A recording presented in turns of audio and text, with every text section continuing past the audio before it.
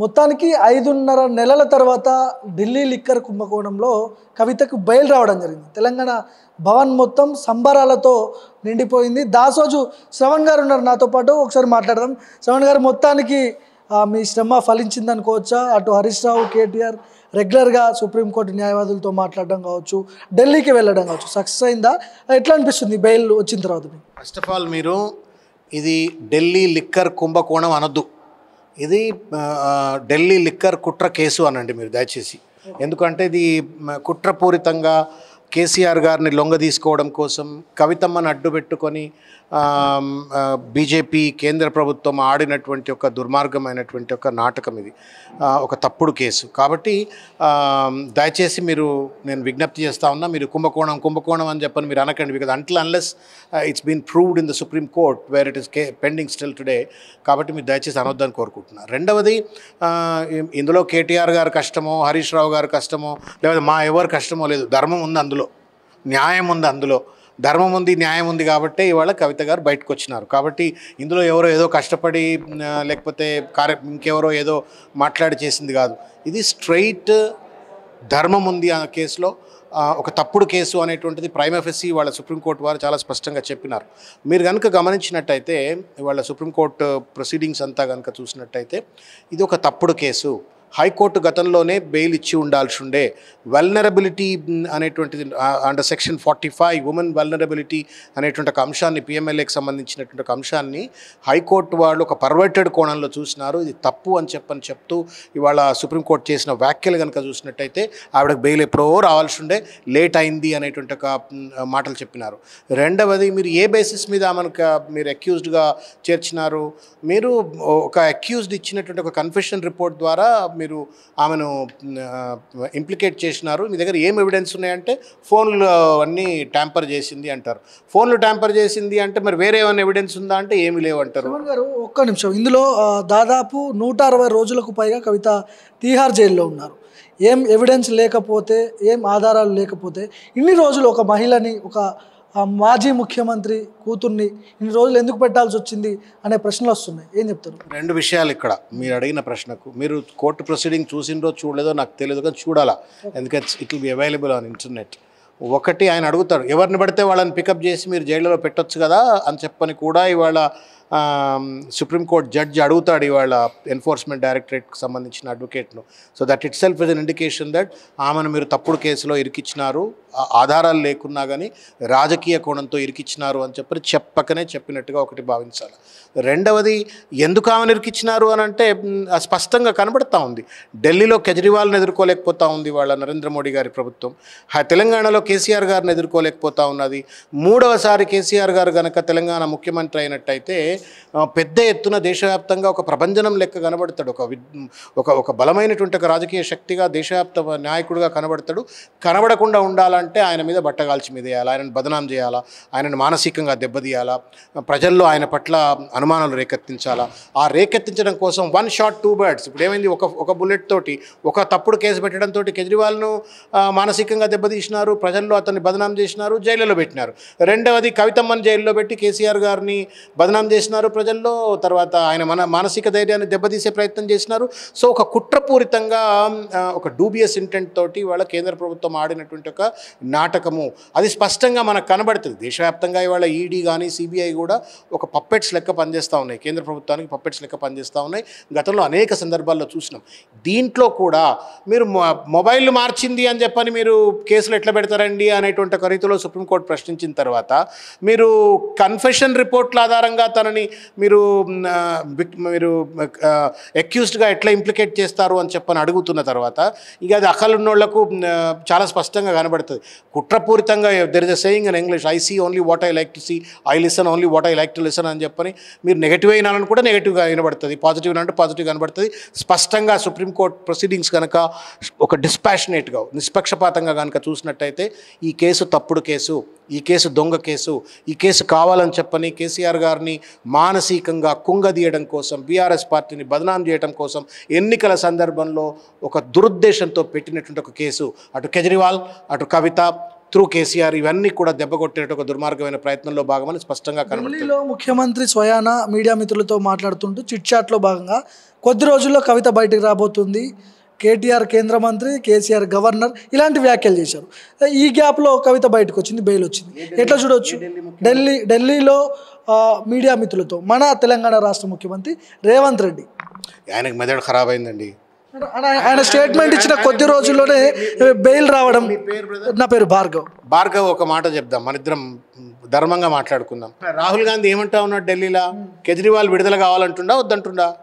ఏమంటున్నాడు? చెప్పండి సార్. విడుదల కావాలంటున్నాడా? అవునంటే అవును అవును విడుదల అవును అవును విడుదల కావాలంటుండు. సిసోడియా విడుదలను బెయిల్ రావటాన్ని రాహుల్ గాంధీ వెల్కమ్ చేసిండా? కాంగ్రెస్ పార్టీ వెల్కమ్ చేసిందా? వెల్కమ్ చేయలేదా? వెల్కమ్ చేసిందా? చెప్పండి. చెప్పండి వెల్కమ్ చేసిందా? చేసింది అనుకుంటా.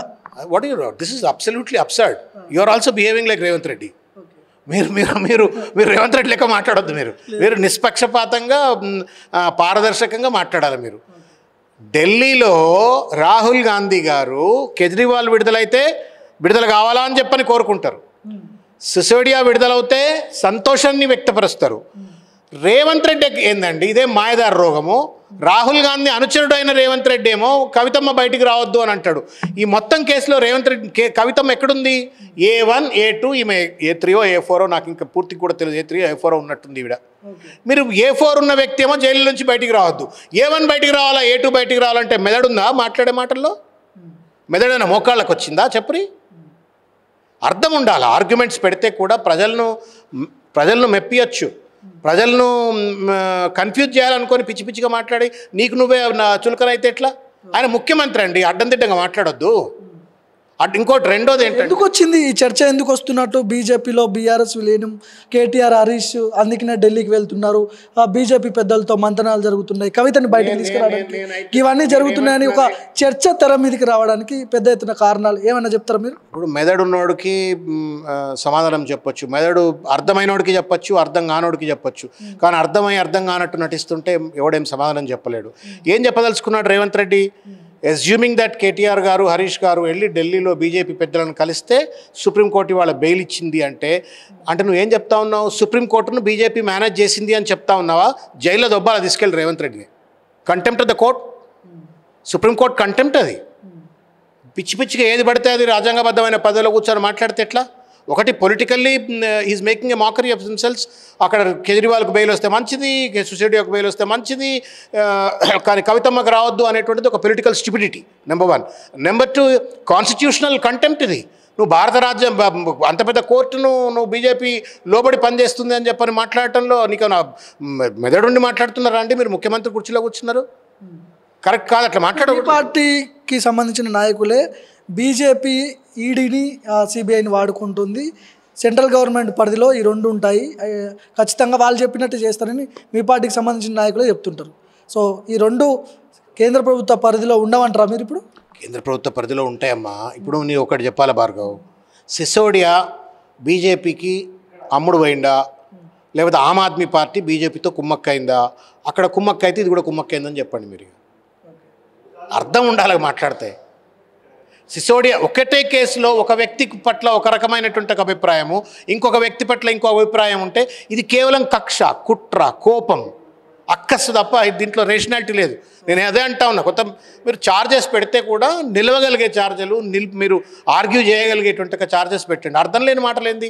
Rahul Gandhi in Delhi says Kejriwal should be released Manish Sisodia release is welcomed Revanth Reddy తెలంగాణలో వచ్చేసి అదే కాంగ్రెస్ పార్టీ రాహుల్ గాంధీ అనుచరుడు వచ్చేయమంటున్నాడు అంటే కవిత విడుదల కావద్దు కవిత విడుదల అవుతుంది కాబట్టి బీజేపీతో కుమ్మక్కని. మరి కేజ్రీవాల్ కూడా కుమ్మక్క అవుతున్నట్ట? రేపు పొద్దుగా రిలీజ్ అయితే? లేకపోతే మనీష్ సిసోడియా కూడా కుమ్మక్క అవు అయినట్ట? మరి ఆమ్ ఆద్మీ పార్టీ కుమ్మక్క అయినట్ట? అర్థం ఉండాలి మాట్లాడితే. ఎట్లాంటి రోల్ ఉంటుంది కవితది? బయటకు వచ్చిన తర్వాత పార్టీలో ఏమైనా యాక్టివ్గా పనిచేసే అవకాశం ఉంటుందా? తెలంగాణలో రాజకీయాలు ఏమైనా వేడెక్కే అవకాశం ఉంటుందా కవిత ఎంట్రీతో? నేనేమనుకుంటున్నాను అంటే Kavithamma she's a very versatile leader very versatile leader అంటే తను తెలంగాణ ఉద్యమంలో అందరం బతుకమ్మ చూసినాం. మన ఊళ్ళల్లో మన తాతలు ముత్తాతలు కూడా బతుకమ్మ చూసినారు ఆడినరు కానీ ఆ బతుకమ్మను ఉద్యమ బావుటాగా ఒక ఉద్యమ ఆయుధంగా మలుచుకున్నటువంటి ఒక దాఖలాలు మనం గతంలో చూడలే. అది కవితమ్మ గారితో మొదలైంది తెలంగాణ ఉద్యమంలో మొదలైంది. కాబట్టి తెలంగాణ అంతా తిరిగింది. చాలాసార్లు చాలా కార్యక్రమాలలో అత్యంత కీలకంగా తెలంగాణ ఉద్యమంలో భాగస్వాములు అయినటువంటి ఒక వ్యక్తి. కాబట్టి ఇవాళ తెలంగాణ అస్తిత్వం కోసం కావచ్చు ఇవాళ కాకతీయ తోరణం మీద దాడి జరుగుతూ ఉంది తెలంగాణ తల్లి మీద దాడి జరుగుతూ ఉంది చార్మినార్ మీద దాడి జరుగుతూ ఉంది తెలంగాణ అస్తిత్వం మీద దాడి జరుగుతూ ఉంది తెలంగాణ సంస్కృతి మీద దాడి జరుగుతూ ఉంది తెలంగాణ ఆత్మగౌరవం మీద దాడి జరుగుతూ ఉంది. కాబట్టి తప్పనిసరిగా వాటన్నిటినీ కాపాడుకోవడం కోసం ఒక ఉద్యమ అనుభవం ఉన్నటువంటి ఒక నాయకురాలుగా ప్రజాక్షేత్రంలో పనిచేయగలిగేటువంటి ఒక సత్తా ఉన్న నాయకురాలుగా తప్పనిసరిగా ప్రజాక్షేత్రంలో పనిచేయాలని చెప్పి నేను కోరుకుంటున్నా. ఏం రోల్ ప్లే చేయబోతుంది అనేది కేసీఆర్ గారు నిర్ణయిస్తారు. బట్ ఏ రోల్ ప్లే చేసినా ఒక వైబ్రెంట్ రోల్ ప్లే చేస్తుంది అని నేను భావిస్తా ఉన్నా. చేయాలా అని చెప్పి నేను కోరుకుంటున్నా. అందుకే అంటున్నా more strength to her and more strength to BRS అని చెప్పి అనుకుంటున్నాను కొంతమంది రాజకీయ నాయకులు కొన్ని కొన్ని అంచనాలు వేస్తున్నారు. మాజీ ఆంధ్రప్రదేశ్ మాజీ ముఖ్యమంత్రి జగన్మోహన్ రెడ్డి జైలుకి వెళ్ళాడు ఇక్కడ ఉన్నటువంటి ప్రస్తుత ముఖ్యమంత్రి రేవంత్ రెడ్డి రేవంత్ రెడ్డి కూడా జైల్లో నుంచి బయటకు వచ్చిన తర్వాత ఇద్దరు అత్యున్నత స్థానంలో ఉన్నారు. ఇప్పుడు కవిత అత్యున్నత స్థానంలోకి ఎదగబోతుందనే ఒక చర్చ బలంగా వస్తున్నది. ఉండొచ్చు అంటారా? మీ అభిప్రాయం ఏంది? See, ఇప్పుడు జగన్కు జగన్ గారికి కవిత గారిని రేవంత్ రెడ్డి ఆల్సో రేవంత్ రెడ్డి బాటంగా మీరు మీ మీకేమనిపించింది? చెప్పు నాకు. నోట్లతో దొరికిండా లేకపోతే ఏమైనా కాగితాలు చితుకాయితలతో దొరికిండా మీరు ఆ- సంచి చిత్తుకాయితాల సంచి అయితే రేవంత్ రెడ్డి గారు సుధపూస ఆ పైసల సంచి అయితే మాత్రం ఈ వాయులేటెడ్ ద కాన్స్టిట్యూషన్ అన్నట్టే కదా? అంతేనా కదా? ఇక ఆయనను మీరు కవిత గారితో ఎందుకు లింక్ పెడతా ఉన్నారు? కోర్టు చెప్తా ఉంది. ఒక్క రూపాయి కూడా దొరకలేదు. వంద కోట్లు వంద కోట్లు అంటా ఉన్నారు. ఒక్క రూపాయి కూడా దొరకలేదు అని చెప్పని కోర్టు చెప్తున్నాక మీరు నగ్నంగా నడి రోడ్డు మీద యాభై లక్షల రూపాయలతో దొరికినటువంటి ఒక వ్యక్తికి మీరు కవితమ్మకు పోల్చి చూడటం కరెక్ట్ కాదు. జగన్మోహన్ రెడ్డి గారిని లింక్ చేయడం కరెక్ట్ కాదు. ఒకటి ఇవన్నీ prematured conclusions. I assume that she will play vibrant role and I I wish her all the best తను ప్రజాక్షేత్రంలో పనిచేయాలని చెప్పని కోరుకుంటా ఉన్నాను. బలమైన నాయకురాలుగా ప్రజల్లో పనిచేయాలా భారత రాష్ట్ర సమితిని బలోపేతంలో భాగస్వాములు కావాలా కేసీఆర్ గారి నాయకత్వాన్ని ఇంకా కూడా బలోపేతం చేయడం కోసం ముందు వరుసలో ఉండాలని చెప్పి నేను కోరుకుంటున్నాను. రైట్ థ్యాంక్ యూ శ్రవణ్ గారు. సో ఇది మొత్తానికి లిక్కర్ స్కామ్ లేదు ఏం లేదు. ఖచ్చితంగా ఆ లిక్కర్ స్కామ్ని ఒక క్రియేట్ చేసి కవితని కావాలనే రాజకీయం కక్షలతోనే ఇరికించారనే ఆరోపణలు బీఆర్ఎస్ పార్టీ నాయకులు చేస్తున్నారు. సో దాదాపు ఐదున్నర నెలలు తర్వాత కవిత తెలంగాణకి ఎంట్రీ ఇవ్వబోతా ఉంది. తెలంగాణ రాష్ట్ర రాజకీయాలన్నీ కూడా కొంత ఇంట్రెస్టింగ్గా మారే అవకాశాలు ఉన్నాయని కూడా దాసోజు శ్రవణ్ లాంటి వాళ్ళు చెప్తున్నారు.